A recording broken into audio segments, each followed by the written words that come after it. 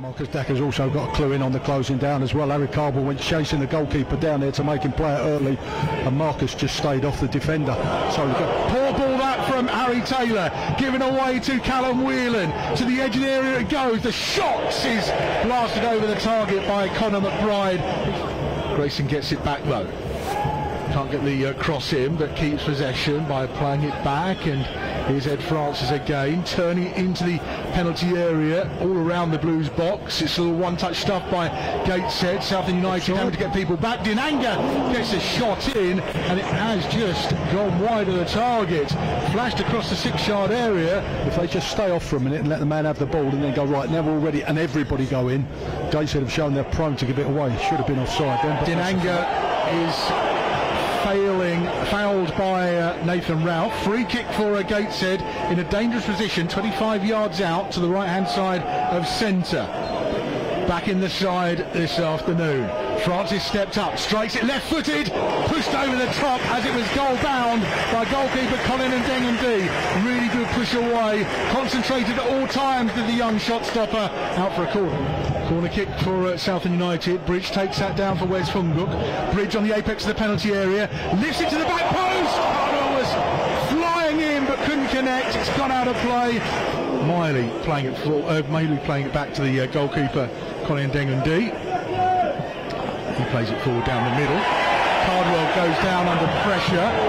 Referee had a good look at that and says play on. And playing on they are, Gateshead. Breaking is Luke Hannant on the left. Hannant inside to Francis.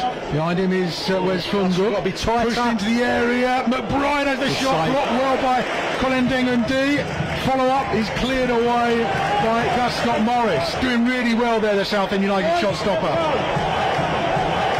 Remains nil-nil.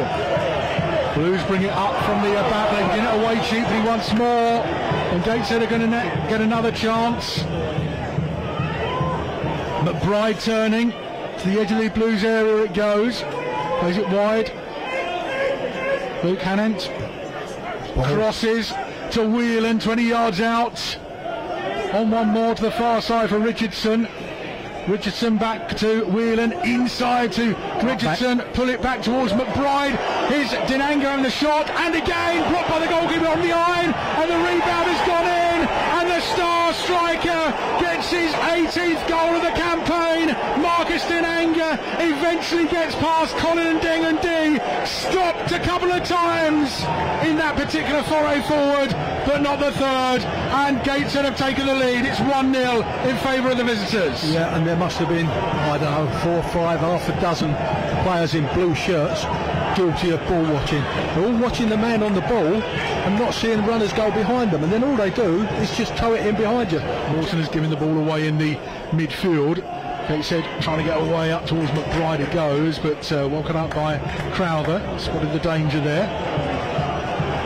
Here is Nathan Ralph along the ground, one for uh, Cardwell to chase after. That was seen, but the loose ball has been picked up by Noor Husin on the left hand side.